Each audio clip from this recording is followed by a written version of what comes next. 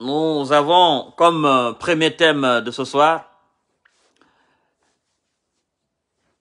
ça concerne euh, effectivement euh, le l'ex-domicile de Monsieur Selou Dalen à Dixine qui a été démoli effectivement. Et sur le terrain, le gouvernement entreprend la construction d'une école primaire moderne, comme ils l'ont si bien dit. Ils ont déjà même fait la pose de la première pierre. Nous allons débattre sur la question. Nous allons débattre le sujet. D'accord? Est-ce un mauvais calcul gouvernemental ou pas? Je vais le développer tout à l'heure. Et un deuxième sujet, nous allons effectivement euh, parler... Attendez. Nous allons effectivement... Attendez, il y a une information qui me parvient là à l'instant T même. Voilà. Partagez le live en attendant. Ok. Un deuxième sujet, nous allons euh, effectivement parler de cette affaire euh, de Kassouri Fofana avec l'ambassadeur des États-Unis. Bon, je dis, l'autorité guinéenne doit remettre l'ambassadeur des USA effectivement à sa place immédiatement. Nous allons revenir là-dessus pour développer plus. Et puis, on nous apprend que l'ex-homme fort, euh, le ministre d'État, d'accord, le, le monsieur de la présidence Mohamed Djane, on nous apprend qu'il est gravement malade. Alors je pose la question de savoir qu'est-ce qu'il faut faire. Vous partagerez au maximum la vidéo.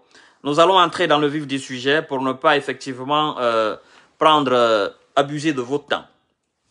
Chers frères, mesdames et messieurs, chers compatriotes, nous avons vu que après la sortie de M. Selouda Lenjalo de son domicile, après le déguerpissement de ce monsieur, qui a tant servi la Guinée, le gouvernement, sans attendre la décision de la justice, a démoli la maison de Selou. C'est-à-dire une maison conflictuelle. Pourtant, ils étaient en justice. Parce que Selou et Sidia, se sont saisis de la justice pour leur domicile. D'accord? La décision n'est pas tombée, la justice euh, n'est pas faite par rapport au dossier. On est venu, on a saccagé le domicile de, de, de Selou. Par contre, le domicile de Sidia était encore là. Et alors, dans ces deux derniers jours-là, nous voyons que le gouvernement entreprend la construction d'une école primaire moderne. La question qu'il faille se poser là, est-ce un mauvais calcul gouvernemental ou bien est-ce du populisme? Est-ce une manière de se donner un certain nom, une certaine valeur? Est-ce? C'est ce que le colonel, le CNRD entreprend faire. Chers frères, je me pose la question de savoir aujourd'hui quelle est la nécessité de construire une école primaire moderne sur ce terrain conflictuel? Quelle est la nécessité? Il n'y a pas de nécessité. D'autres diront que oui, c'est une école primaire, c'est une école, c'est bon, c'est bien, c'est bien joli. Pour moi, c'est mal et c'est sale. Vous savez, c'est mal et c'est sale. D'abord, la question qu'il faille se poser, la démolition de cette maison n'était pas une nécessité. L'État a tellement de domaines à Conakry sur lequel S'ils ont envie de construire des écoles, des usines, on peut construire pêle-mêle, on peut construire à gogo. La construction, la démolition de cette maison, ça ne voulait pas la peine. Non, il n'y avait, pas avait pas nécessité là. On n'était pas dans l'urgence de démolir cette maison. Premièrement. Deuxièmement, je me dis, allez-y à l'intérieur du pays. À commencer même par Conakry. Conakry même, il y a combien d'écoles primaires à Conakry qui sont dans des conditions de dépravation avancée Il y a combien d'écoles primaires? Il y a combien de lycées? Il y a combien de, de, de collèges? Il y a combien d'universités à Conakry, dans la ville même de Conakry? Qui sont aujourd'hui dans des conditions dégradantes avancées. Il y a combien? On ne peut pas finir de les compter. Il y a combien d'écoles primaires, combien de collèges, combien de lycées dans la région de Conakry qui manquent de table banc, qui manquent effectivement de qui manquent de salles de classe, qui manquent même de professeurs. Il y en a combien? Ça ne finit pas. Chers frères, il faut que nous réfléchissons. Cette affaire de domicile, c'est lourd. C'est-à-dire, au fur et à mesure que le gouvernement s'investit à faire quelque chose sur ce domaine, c'est au fur et à mesure on constate effectivement euh, une forme de haine dedans. J'ai vu le parcours du ministre de, ministre de l'Éducation à l'intérieur du pays. Il est allé toucher du bout du doigt les réalités des écoles primaires, des collèges, des lycées à l'intérieur du pays. Il y a des écoles primaires qui manquent de table banc. Les gens sont, les enfants sont assis à même le sol, même dans la région de Cancan. Chers frères, vous savez, il faut qu'on soit réaliste, il faut qu'on se dise la vérité. Cette affaire-là, c'est pas clair. Il y a une haine derrière. Et il faut que le colonel comprenne cela. Allez-y à Zérékoré, allez-y à Macenta. J'ai vu même là où Ahmed Sektouré, le premier président guinéen, a étudié à Macenta, l'école primaire là. La dame là a dit quoi? Quand il a vu le ministre de l'enseignement, le ministre de l'éducation, il dit ici, les enfants, c'est-à-dire les écoliers et les fous se côtoient dans cette école-là. Parce qu'il n'y a pas de porte, il n'y a pas de fenêtre. Les animaux, les animaux viennent même chier là. Les fous passent des nuits là. Moi, je pense que, au lieu de lieu, au lieu, de chercher des fonds, aller construire une école, soi-disant moderne, sur, le sur un domicile, c'est-à-dire sur un terrain conflictuel, je pense qu'il serait beaucoup plus mieux d'aller investir dans la rénovation de ces écoles à l'intérieur, un peu partout en Guinée, que de construire. Il faut qu'on soit clair. Il faut qu'on dise la vérité. Allez-y à Manjana. Dans la sous-préfecture de Bajaran. On nous a montré une image une fois là. Où les enfants sont assis à même le sol. C'est pas des écoles ça. Les enfants de l'intérieur ont plus besoin de construction ou de rénovation des écoles primaires que dans la capitale. Disons la vérité. Il faut être réaliste. Il n'y avait pas besoin. Il n'y avait pas on n'était pas dans une nécessité de démolir la maison de Célie et de construire une soi-disant école primaire moderne. Si vous voulez construire une école moderne, vous vous parlez d'école moderne. Les enfants à l'intérieur du pays n'ont même pas d'abord une école moyenne. À plus forte raison, école moderne. École primaire moderne. On n'a pas besoin d'école primaire moderne. Les enfants à l'intérieur du pays, ils ont justement besoin d'une école simple Construisez un bâtiment, des bâtiments simples. Faites des tables bancs, mettez un tableau noir pour enseigner les enfants à l'intérieur du pays. Ils n'ont pas besoin même d'école moderne. Non, 18 salles, oh non, cantine, oh non, ceci. Les enfants à l'intérieur du pays, ils n'ont pas besoin de ça. Et eux, ils ont juste besoin qu'à la place des tôles, c'est-à-dire parce qu'il y a des écoles comme ça, on allait couper du bois, on a, on a, on a, on a, on a, on a, on a construit une école comme ça avec du bois, et puis on a mis du tôle, qu'à la place de ces écoles pareilles, la honteuse là à l'intérieur du pays, qu'on construise des écoles avec des briques, des bâtiments avec des briques, et justement un tableau, c'est-à-dire un tableau noir et des tableaux blancs à l'intérieur. Ministre de l'Éducation, je crois que vous êtes en train de faire un faux calcul et ce que vous êtes en train de faire là, moi j'appelle ça du populisme. Ça, ça ne passe pas. Quand c'est bon, je dis c'est bon. Et quand c'est mauvais, je dis c'est mauvais. Et je vais vous dire, vous avez fait le tour à l'intérieur du pays pour constater effectivement l'état des écoles. Vous êtes venu dans la capitale. Au lieu de débloquer le fonds ou de chercher des fonds pour la construction d'une école moderne sur un terrain conflictuel, dites au colonel Omadi Doumbouya, colonel, ce que nous avons besoin aujourd'hui, c'est pas la construction d'une école moderne, mais plutôt c'est la rénovation des écoles que nous avons, c'est l'entretien des écoles que nous avons. C'est la fabrication des tableaux bancs afin de doter ces écoles-là de ces tableaux bancs-là à l'intérieur du pays. Maintenant, chers frères, allez-y dans les facs à Sonfonia, Gamal, dans les facs à Kankan, dans les facs à Zérékouré. Allez-y dans les facs. Il y a c'est-à-dire, ça manque de place. Les étudiants sont obligés parfois à s'arrêter dehors pour suivre les cours. Comment voulez-vous que les étudiants guinéens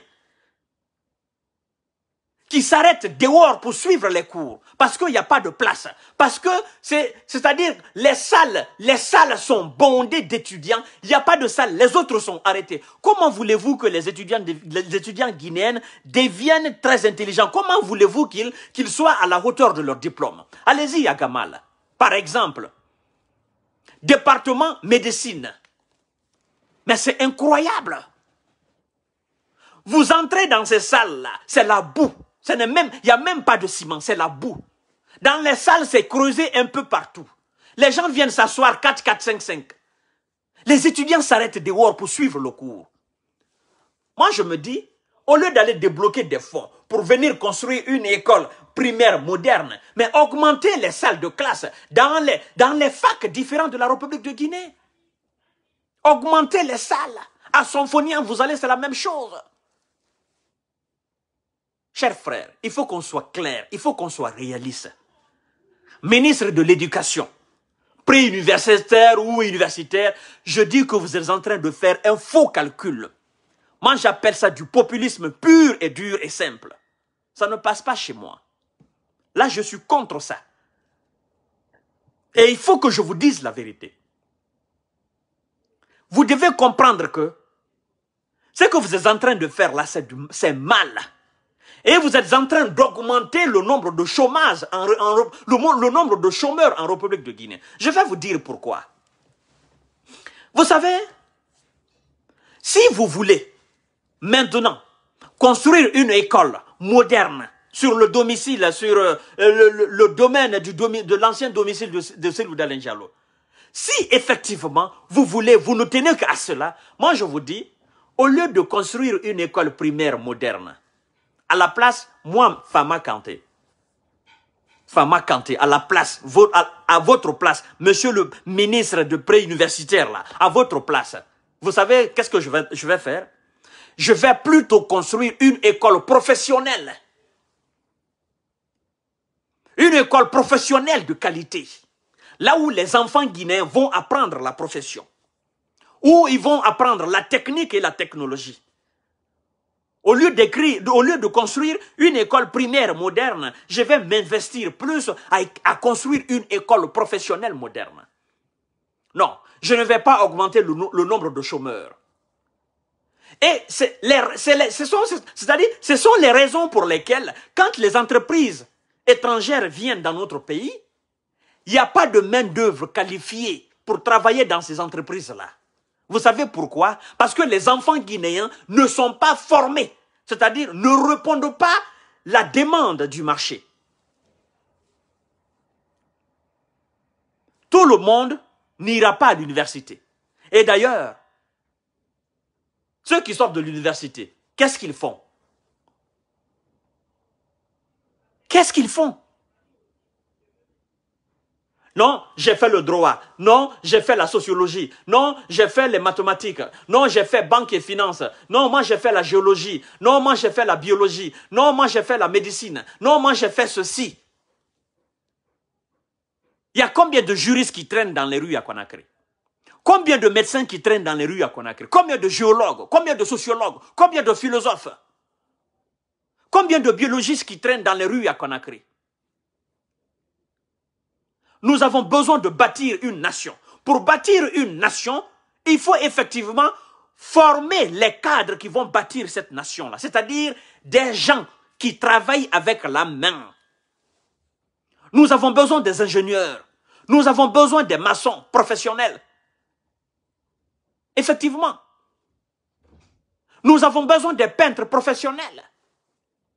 Nous avons besoin des plafonniers professionnels. Nous avons besoin des menuisiers professionnels. Il faut construire une école professionnelle. Il faut former les enfants guinéens à devenir effectivement des bâtisseurs de la nation. La Guinée est un, pays qui est en chantier. Nous avons besoin des menuisiers professionnels qui peuvent même travailler ici en Europe. Qualifiés. Nous avons besoin des peintres professionnels. Construisez une école professionnelle, une école de technique et de technologie. Ça, c'est beaucoup plus rentable. C'est beaucoup plus mieux que d'aller construire une école primaire moderne. Vous voulez amadouer qui? Chez moi, ça ne passe pas. Ça, c'est un mauvais calcul que vous êtes en train de faire. Nous, nous sommes ici en Europe. Vous pensez que ce sont c'est tous les enfants français qui vont à l'université? Non. Vous pensez que c'est tous les blancs français, allemands qui vont à l'université? Non. Il y en a, ils s'arrêtent juste euh, au niveau du BEPC, ils font une école professionnelle et puis voilà, paf. Ils travaillent dans des entreprises. Il y en a qui s'arrêtent juste au niveau lycée, ils font une école professionnelle, ils sont qualifiés, paf, ils sont quelque part. On n'a pas tous besoin d'aller à l'université. Et d'ailleurs, ce n'est pas tout le monde qui part à l'université ici. Chaque année, vous nous faites augmenter le nombre d'étudiants. Et quels étudiants? Des étudiants de qualité ou des étudiants médiocres? Des étudiants que vous-même, vous ne permettez pas effectivement de faire de stage. Les gens sortent à l'université à Conakry, en Guinée, un peu partout. Ils ont même du mal à gagner du stage. Former des gens. Orienter ces étudiants-là. Il y a des enfants qui n'arrivent pas à décrocher le BEPC, des enfants qui n'arrivent pas à décrocher le bac. Ces enfants-là, on peut les orienter à faire des écoles professionnelles. Ils sortent avec des diplômes. Ils deviennent des menuisiers, ils deviennent des mécaniciens, ils deviennent des peintres, ils deviennent des maçons, ils deviennent des ingénieurs qualifiés. Hein? Au lieu de ça, vous êtes en train, oh non, la pose de première pierre, oh non, nous allons construire une école primaire moderne, 18 hein, salles. Ce fonds-là, cet argent-là, si vous ne pouvez pas construire des écoles professionnelles, dignes de nom et équipées, si vous ne pouvez pas effectivement euh, euh, chercher même des scientifiques pour venir enseigner la technique et la technologie en République de Guinée, alors ce fonds qui va vous permettre d'aller construire, de construire cette école primaire moderne là, moi je vous dis d'acheter des tables bancs et d'aller équiper les écoles qui existent déjà en Guinée. Allez-y au lycée Yimbaya qu'on appelle lycée Le Sédar Senghor. Allez-y au lycée Matam. Allez-y au lycée, au lycée, euh, euh, euh, au lycée aviation. Allez-y au lycée Kouléa. Allez-y voir l'état dans lequel se trouvent ces, ces lycées-là. Allez-y voir l'état dans lequel se trouvent les écoles primaires publiques à Conakry. Moi, je pense qu'il faut mieux il vaut mieux effectivement entretenir ces écoles que d'aller encore augmenter le nombre de chômeurs en, République de Guinée. Ou bien vous voulez simplement faire en sorte que, bon, c'est le colonel Mamadi Doumbouya qui a construit ça. C'est sous l'ère du colonel Mamadi Doumbouya qu'on a fait ce travail-là. On n'a pas besoin de ça. On a besoin de la qualité, on a besoin de la vision. On n'a pas besoin de nom de colonel Mamadi Doumbouya. Essayez de donner le nom au colonel Mamadi Doumbouya, mais en faisant autre chose, positive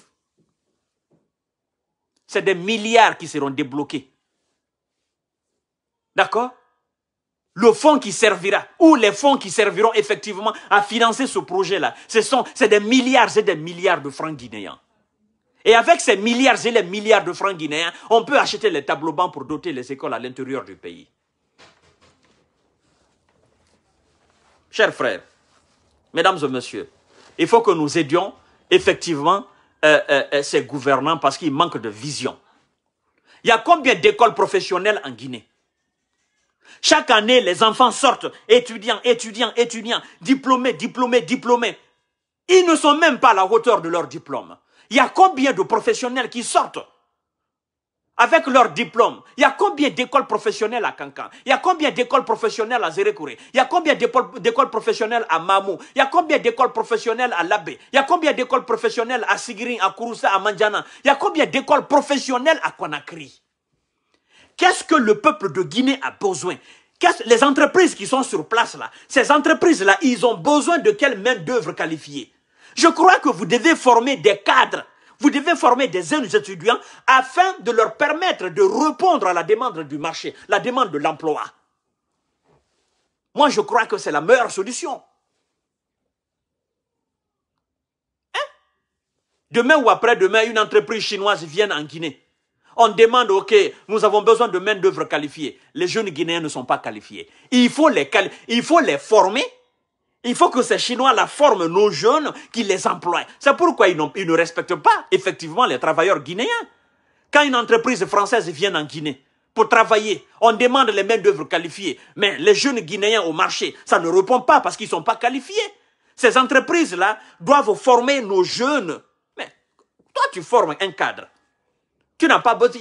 Le plus souvent, on ne les respecte même pas. Mais si tu viens trouver des cadres qualifiés sur place, tu les prends, ils sont qualifiés. Ils ont au moins deux ans d'expérience, trois ans d'expérience. Mais bien évidemment, tu vas les respecter. Parce qu'ils sont à la hauteur de leur diplôme. Mais bon, en Guinée, c'est autre chose. C'est pourquoi cette nation, ce pays est encore en retard. Parce que ce qu'on fait là, c'est pas bon. C'est pas bon du tout. D'accord, monsieur Kanté, je suis d'accord avec euh, qu'on construise une école. Mais quelle école? C'est bien joli qu'on construise une école, mais quelle école? Quelle école? École primaire, il y en a tellement en Guinée. Il y a combien d'écoles professionnelles à Conakry? Combien? Hein? Combien d'écoles professionnelles? Il y en a peu. On les compte du bout du bois. Par contre, les écoles primaires, il y en a à gogo, c'est versé comme ça là. Dans les quartiers, il y en a. Mais bon, la Guinée, c'est la Guinée. Chers frères, je crois que le ministre de l'Éducation pré-universitaire l'a déjà compris. Et je sais que le colonel Mamadi Doumbouya, il a compris que effectivement, s'il se laisse aller, ben, c'est un mauvais choix, c'est un mauvais calcul gouvernemental. Clair et net. Alors, il y a ce cet ambassadeur des États-Unis, je crois bien, qui demande à rencontrer, rencontrer effectivement Kassouri Fofana, je ne sais pourquoi. Je ne sais pas s'il veut euh, influencer la décision de justice en Guinée, ou bien s'il veut s'immiscer effectivement dans les affaires internes de la République de Guinée, les affaires de la justice guinéenne. Mesdames et messieurs, et je vois des Guinéens farfelus, des Guinéens irréfléchis, des Guinéens démagogues, des Guinéens sans vision, des Guinéens indignes encourager cette démarche de l'ambassadeur des États-Unis. Oh non, on verra, Kassouri va sortir. Oh non, c'est un Américain. Je dis, Kassouri est devenu Américain quand? Et même s'il est Américain, il a la double nationalité. Et ce que je dis au colonel Mamadi Doumbouya et à l'autorité compétente en République de Guinée, il faut immédiatement remettre à sa place cet ambassadeur-là. Je crois qu'il ne sait pas ce qu'il doit faire. Parce que il est en train de marcher sur la dignité de la République de Guinée. L'autorité compétente de la République de Guinée doit prendre ses responsabilités et remettre à sa place cet ambassadeur-là. Nous ne sommes plus aux années 80, les années 90, les années 50. Nous avons vu l'exemple frappant au Mali. Ils ont mis l'ambassadeur de la France dehors.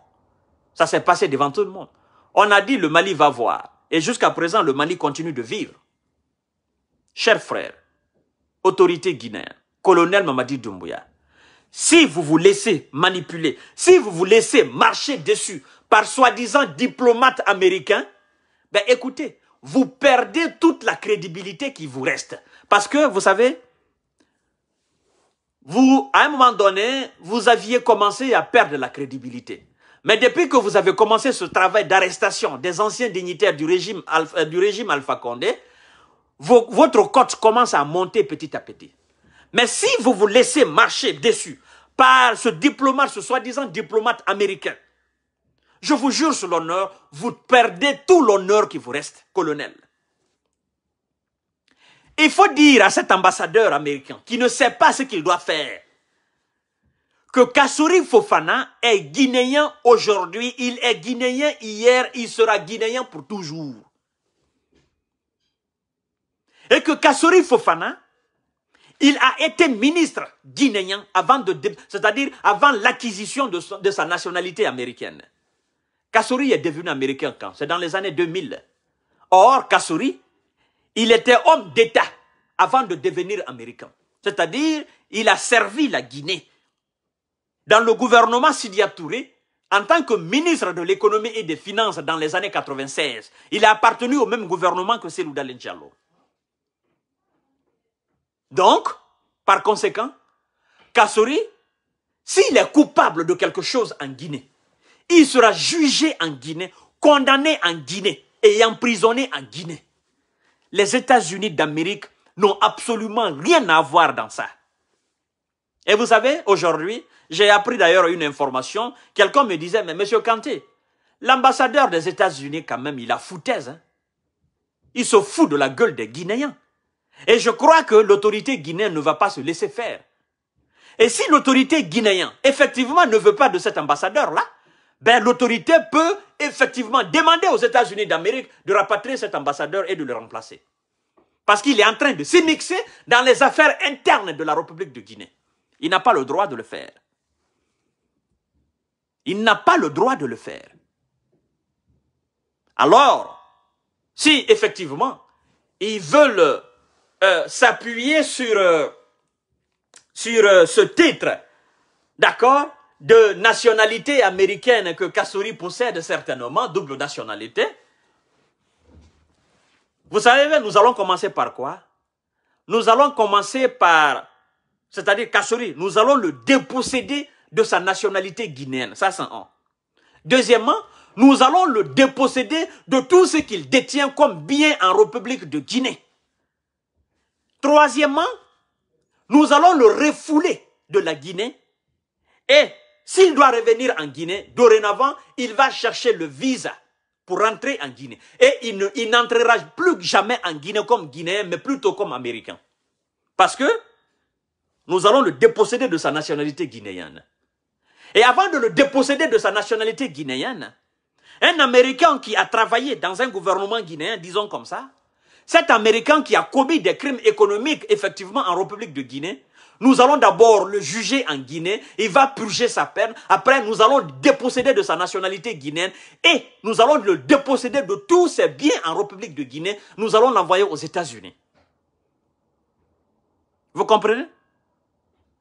D'abord, ce qu'il faut savoir, c'est que si les États-Unis d'Amérique, si l'ambassadeur des États-Unis d'Amérique, s'il a quelqu'un à défendre en Guinée, si quelqu'un est plus américain en Guinée que les autres là, c'est-à-dire ceux qui ont travaillé avec Alpha Condé, je crois d'ailleurs que c'est Albert Damantan Camara. Parce que j'apprends que ce monsieur, il est né aux États-Unis. Si c'est le cas, Albert Damantan Kamara, il est plus américain que Kassouri Fofana. Et si l'ambassadeur des États-Unis doit défendre quelqu'un en Guinée, il doit plus défendre Albert Damantan Kamara que Kassouri. Parce que Albert Damantan Kamara, il est né américain, sur le sol américain. Il a cette nationalité américaine. Et Kassouri est devenu américain. Il n'est pas né américain. Donc Albert Damantan Kamara, non seulement il, est, il est né américain, il a, la nationalité américaine, il est né américain, il a le droit de sol américain. Donc, lui, il est plus américain que Kassouri. Et donc, il est plus américain que ceux qui ont acquis la nationalité américaine. D'accord? Mais qui ne sont pas nés sur le sol américain. Alors, autorité compétente. Et même malgré tout ça, lui aussi, il a la nationalité guinéenne. D'accord? Ce qu'ils ont fait en Guinée, ils doivent répondre de leur acte. Et ils sont responsables de ce qu'ils ont fait en Guinée. Alors, écoutez bien. Aujourd'hui, on dit que Kassouri est américain, qu'il a, la, nationalité américaine. Donc, ça veut dire que si on laissait Kassouri à la tête du RPG Arc-en-Ciel, comme il est président du RPG Arc-en-Ciel, s'il n'y avait pas euh, ce travail de la CRIEF, de cette cour de répression contre les infractions économiques et financières, et si on venait par exemple à organiser les élections en République de Guinée, que le RPG venait à remporter les élections en République de Guinée, Kassori, un Américain, la double nationalité, serait président de la République de Guinée. Et si demain ou après-demain, d'accord, c'est-à-dire demain ou après-demain, on demandait qu'il y ait euh, effectivement l'audit à titre posthume de Ankasuri Fofana, ex-président de la République de Guinée, mais écoutez, on allait nous sortir le même langage, le même slogan.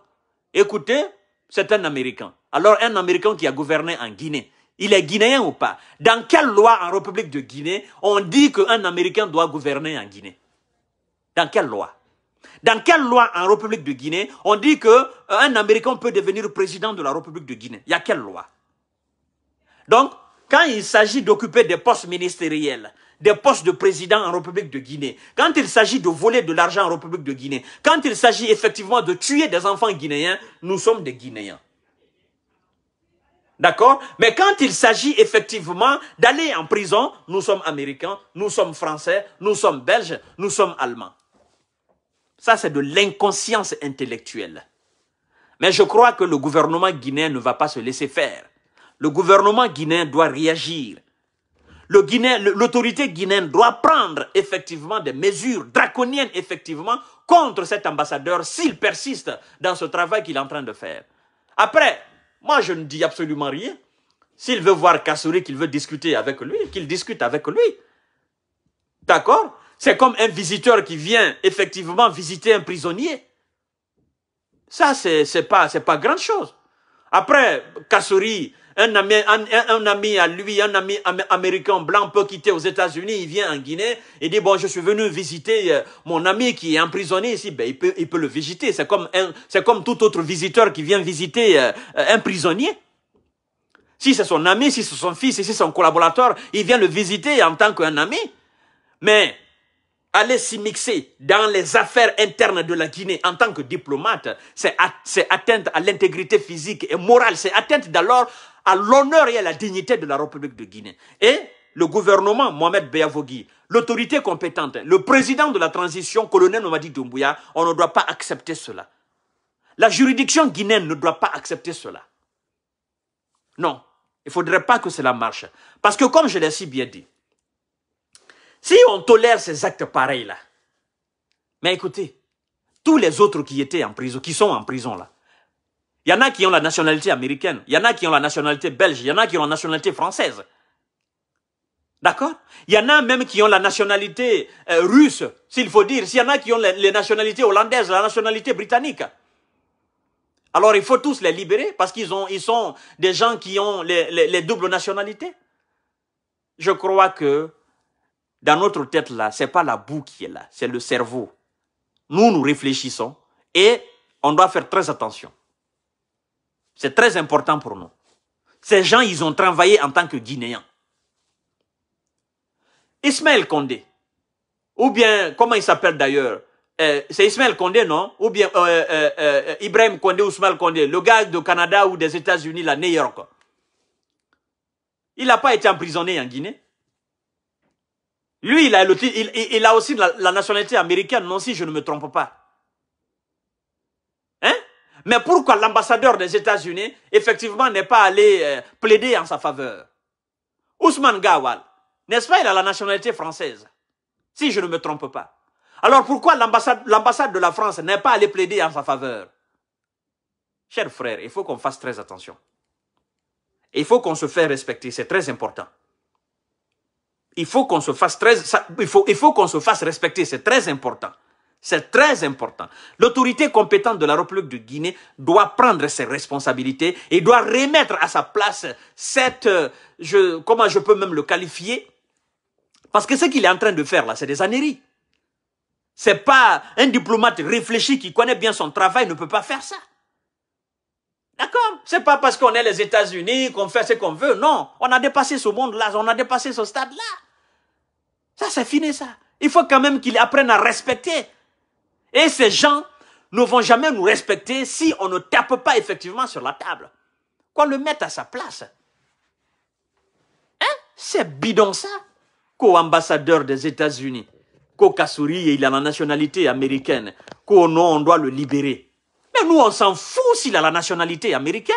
On s'en fout s'il a la nationalité française. chers frères, qu'on se fasse respecter, c'est très important. Alors, j'apprends aussi dans le dossier de, cet homme fort, Mohamed Djani, euh, ex-homme fort sous, le régime euh, euh, Alpha Condé, on, apprend qu'il est gravement malade. Oh non, il est gravement malade. Ça me fait rire. Ces gens-là, ils ont passé 10 ans à la tête de la République de Guinée. 11 ans d'ailleurs. 11 ans à la tête de la Guinée. Ils doivent avoir honte. Mohamed Djane doit avoir honte. Et si, je sais bien, ils veulent qu'on les évacue. Tous ces gens-là, ils sont malades, on le sait. S'ils savaient qu'ils étaient malades, pourquoi ils n'ont pas délaissé des postes ministériels? Parce que quelqu'un qui est malade, mais écoutez, si tu es malade, gravement malade, ben écoutez, déclare, démissionne, quitte. Pourquoi toujours faudrait-il qu'on dise telle personne est malade C'est comme le gouverneur de la Banque centrale. C'est ça, non? Docteur, euh, ben, ce monsieur-là, Nabé. Oh, il, est, allé à la maison centrale, il dit non, il est malade, il faut l'évacuer, il ne tient pas. Mais les autres qui étaient en prison là, à chaque fois qu'ils tombaient malades, on les envoyait à Doka. Si Mohamed Djane est malade, qu'on l'envoie à Ignace Dinou à Doka, c'est tout. Ils nous ont dit qu'ils qu'ils ont équipé cet hôpital-là, ok, des équipements franchement euh, de, type international, mais qu'ils se faillent soigner là-bas. Ou bien eux aussi, ils veulent qu'on les libère, qu'on les envoie à Dubaï, aller les traiter, comme Alpha Condé, c'est ça Mais écoutez, Alpha Condé, c'est le président. C'est votre président. Alpha Condé, c'est votre président. D'accord? Et Alpha Condé, en tant que président, je crois que le privilège qu'il a eu en tant que président, c'est le même privilège qu'il a eu après le coup d'État. Donc, vous ne, pouvez pas avoir les mêmes privilèges qu'Alpha Condé. C'est aussi ça, c'est aussi simple que ça. Il n'y a pas deux poids, deux mesures. Hein. Non, il n'y a pas deux poids, deux mesures. Mais le privilège qu'un chef d'État doit avoir, je crois que c'est ce privilège que qui a été accordé à Alpha Condé. Alors, vous ne pouvez pas être au même pied d'égalité qu'Alpha Condé. Alpha Condé, c'était votre chef. Le privilège qu'il avait en tant que président, vous n'aviez pas ce privilège. Et le privilège qu'il a eu après le 5 septembre, vous ne pouvez pas avoir ce même privilège. C'est une question de privilège. C'est de ça il s'agit. Oui, c'est de ça il s'agit. C'est Alpha Condé qui décidait et vous, vous exécutiez. C'est pas vous qui décidiez qu'Alpha Condé exécutait, non. C'est Alpha Condé qui était le représentant de la Guinée. Même si c'était un, dictateur, mais c'est lui qui était à la tête. On dit c'est le chef. Donc, privilège de chef n'est pas égal au privilège de ministre. Vous, les ministrions, vous allez vous faire traiter en Guinée. Nous avons des cardiologues en Guinée. Et d'ailleurs, je vais vous donner un conseil. Vous savez que euh, Toumba Diakité, d'accord? Monsieur Toumba Diakité, c'est un cardiologue, un médecin, très chevronné.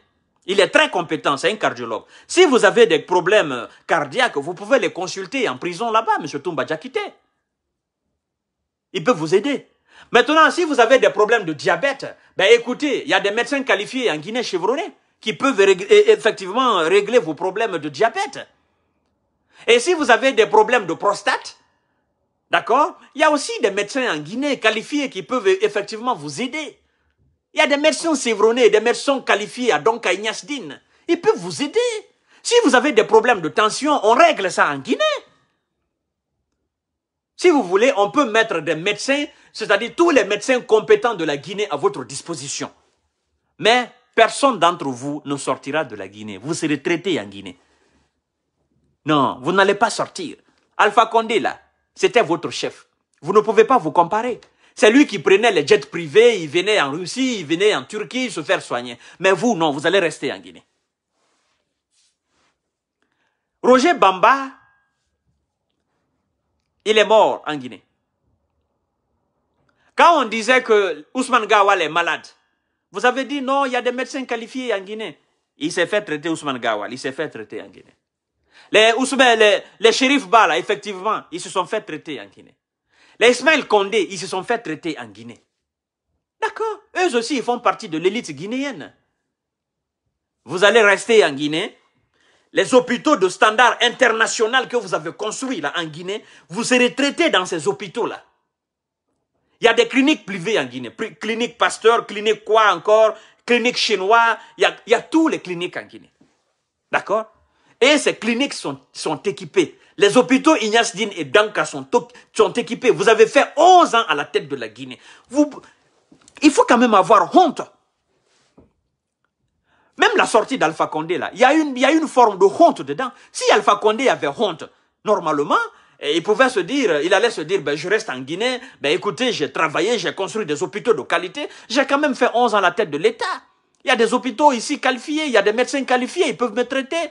Mais bon, accordons ce privilège à Alpha Condé. Mais vous, les ministrions, vous allez rester en Guinée, on va vous traiter en Guinée. Kono, il est gravement malade. Ah, dit. En Guinée, tout le monde est gravement malade. Tout le monde est gravement malade. Nous avons nos parents qui sont gravement malades. D'accord? Nous avons nos pères, nos mères qui sont gravement malades. Nous avons nos enfants qui sont gravement malades. Nous avons nos grands-pères qui sont gravement malades. Non, vous allez rester en Guinée, cher ministre. D'accord? Vous savez, quand on est au pouvoir, quand on dit qu'il faut bien travailler, vous travaillez pour vous-même, vous ne travaillez pas pour quelqu'un. Parce que les premiers à profiter de ces travaux-là, c'est vous qui êtes au pouvoir aujourd'hui. C'est vous qui étiez au pouvoir hier.